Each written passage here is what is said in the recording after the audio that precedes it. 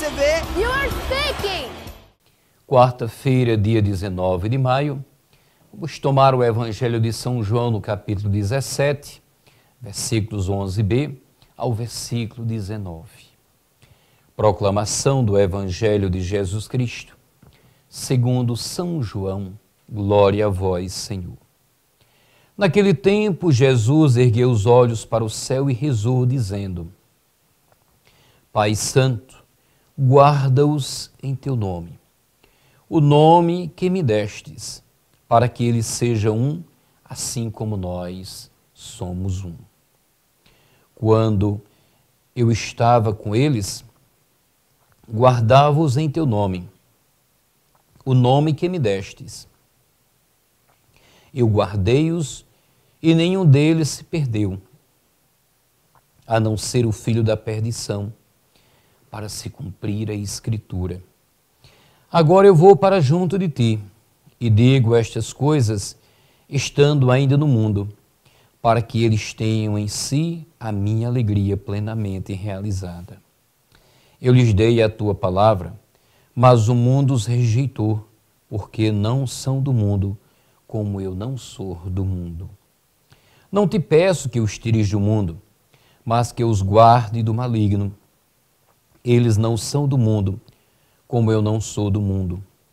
Consagra-os na verdade. A tua palavra é verdade. Como tu me enviaste ao mundo, assim também os enviei ao mundo. Eu me consagro por eles, a fim de que eles também sejam consagrados na verdade palavra da salvação. Glória a vós, Senhor. Que tenho em si a minha alegria em plenitude. Hoje vivemos em um mundo que não sabe como ser verdadeiramente feliz com a felicidade que vem de Jesus. O um mundo que procura a alegria de Jesus nos lugares errados e de maneira errada.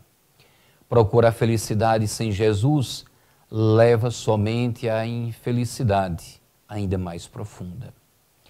Mas queremos viver o dia de hoje com a alegria de Jesus. Jesus rezou ao Pai em nosso Evangelho de hoje. Digo estas coisas estando ainda no mundo, para que tenham em si a minha alegria em plenitude. Percebemos que Jesus quer que sua alegria seja completa em nós ele quer que sejamos plenos da alegria. Isto não quer dizer que não teremos cruzes, porque o mundo os odiou, porque eles não são do mundo. Mas Jesus espera que vivamos com sua alegria, independentemente do que o mundo pensa de nós. A alegria de Jesus deve nos permear até o mais íntimo do nosso ser enquanto os rugidos superficiais de um mundo sem Deus não devem nos penetrar. Hoje, então, vivemos a alegria de Jesus. Como podemos adquirir mais e mais dessa alegria de Jesus? Obviamente, dele mesmo. Jesus é o único que nos dá a verdadeira alegria que está ausente no mundo. Como podemos ver novelas de TV, Jesus disse: Se permanecerdes em mim e minhas palavras permanecerem em vós, pedi o que quiserdes e vos será dado. Então passemos tempo a cada dia em oração, com as palavras de Jesus nas Escrituras, comamos e consumamos as palavras de Jesus nas Escrituras. Deixemos que elas sejam nosso alimento para que sejamos saciados com a alegria que vem de Jesus.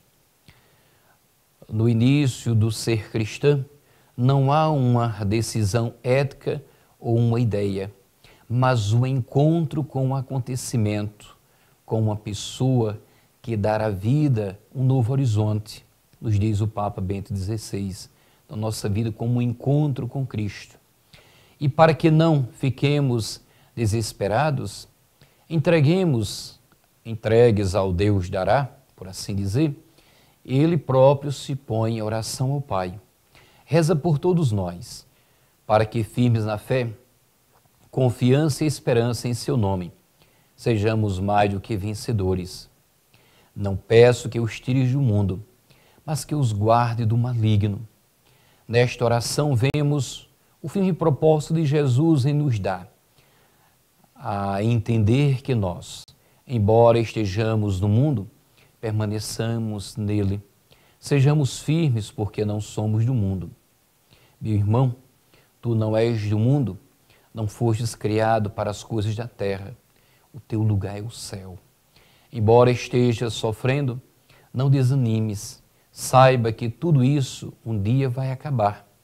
Precisamos caminhar de mãos dadas para Jerusalém do alto. Saiba, portanto, que o cenário deste mundo passará e deixará ruínas. Só no céu encontraremos todas as belezas eternas. Será que tu te esquecestes do velho ditado, segundo a qual é pelo fogo que se prova o ouro? A prova de uma fé acontece no confronto com o maligno, trocando o mal pelo bem, amando os que te contrariam pesagem, odeiam, perseguem, dizem todo mal contra ti. Mas nós demonstramos tudo isso a partir do amor. Desta bem-aventurança sereis quando vos injuriarem.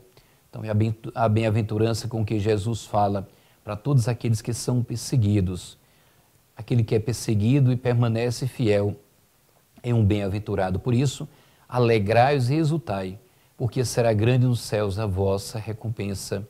Não queremos uma recompensa humana ou de homens, mas uma recompensa em Deus. Deus abençoe a todos. Chegou um novo CCAA para você. Online, ao vivo e presencial. Juntos, o mesmo conteúdo, a mesma qualidade para todas as idades. Você pode decidir a cada aula onde vai aprender inglês ou espanhol na sala de aula com sua turma, em casa, no trabalho, em qualquer lugar. Sempre com a presença do seu professor, interação com os amigos e muita conversação.